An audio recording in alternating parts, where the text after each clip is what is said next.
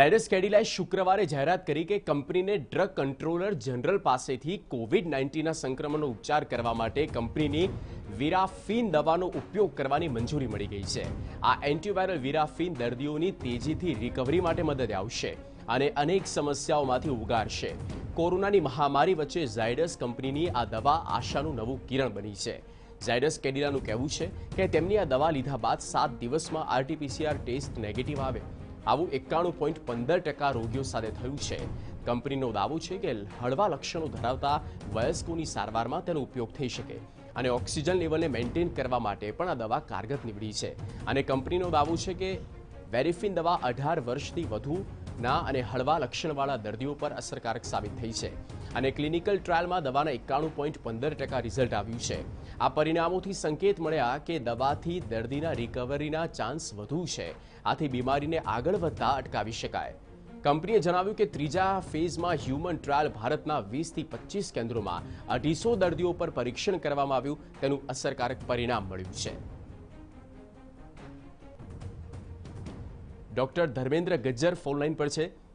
Doctor Dharmendra, આ જે દવા કે જેનું અનેક પ્રકારનું ટ્રાયલ અને અનેક પ્રકારનું પરીક્ષણ થયું છે, વેરીફીની આપણે વાત કરી રહ્યા છીએ. જોકે ડીસીજીઆઈ મંજૂરી પણ આપી દીધી છે. કેવા કેવા સિમ્ટમેટિક પેશન્ટ અને કેવા કેવા ડિઝીઝની સામે આ દવા કારગર સાબિત થઈ છે અત્યાર સુધી? નમસ્કાર.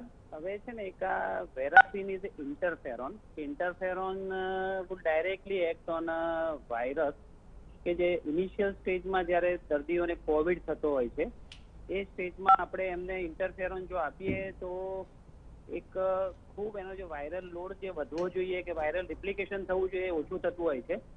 અને it would be a game changer જો આ ડ્રગ ડ્રગ એટલી લોકોએ જે ટ્રાયલ કર્યો છે ને એમાં જે સક્સેસફુલ થયો છે, એ લોકો પચીસથી ત્રીસ કેન્દ્રો ઉપર અલગ અલગ જગ્યાએ ક્લિનિકલ ટ્રાયલ કર્યો છે. અત્યારે આપણને ઇમરજન્સી યુઝ માટે પરમિશન આપી છે ડ્રગ કંટ્રોલે ઇન્ડિયાએ. એટલે એક આ બહુ જ ઐતિહાસિક કદાચ જો એક આ મેડિસિન જો ચાલી ગઈ તો બહુ જ મોટી કારગર થશે. અને એના કારણે જે માઇલ્ડ કેસ આપણે જે વિચારીએ કે જેને વેન્ટિલેટર સપોર્ટની જરૂર નથી અથવા આઈસીયુની જરૂર નથી હોતી આ દર્દીઓ માટે બહુ જ સારું આશારૂપ અને આશાનું એક મોટું કિરણ જોવાય છે ઓકે ધર્મેન્દ્રભાઈ એક સૌથી મોટો પ્રશ્ન પણ આની આની પહેલા પણ ઇન્ટરફેરોન નો આપણે ઉપયોગ કર્યો છે ઘણા વાયરલ ઇન્ફેક્શનોમાં અચ્છા. અને એમાં બહુ જ સારા રિઝલ્ટ આવ્યા છે.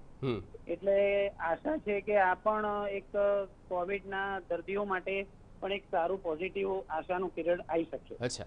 ધર્મેન્દ્રભાઈ, એક પ્રશ્ન અહીંયા એ પણ થઈ રહ્યો છે કે સામાન્ય લક્ષણો ધરાવતા જે દર્દીઓ આવે છે, તેમને અત્યારે જે દવા આપવામાં આવે છે, માની લો કે ફેબીફ્લુ આપવામાં આવે છે કે પછી કોઈ બીજી દવા છે, તેના કરતાં આ દવા કેવી રીતે અલગ પડે છે? અને લંગ્સ ક્લિયર કરવામાં આ દવા કોઈ મદદ કરે છે? જી જી, ડાયરેક્ટ ટાર્ગેટ કરશે.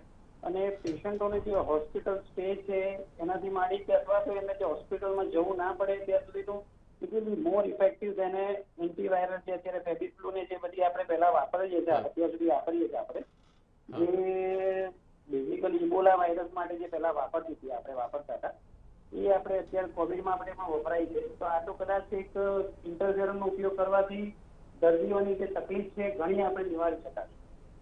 ઓકે.